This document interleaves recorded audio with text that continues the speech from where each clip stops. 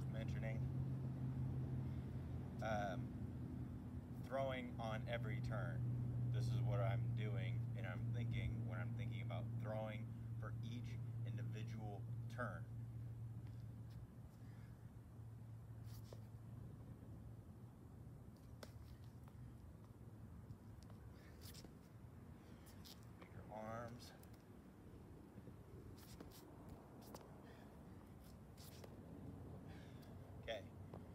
Then I'm thinking about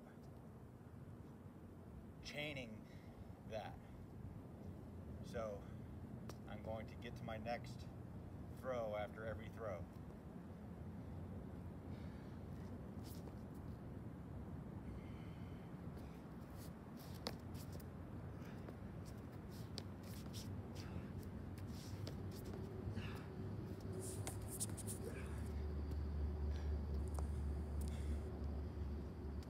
And then